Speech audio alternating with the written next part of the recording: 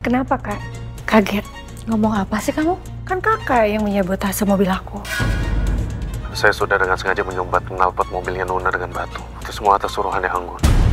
Ada angin apa tiba-tiba kalian datang sini? Ini coklat dari Daniel untuk Safa. Selesaikan urusan kamu sama Daniel.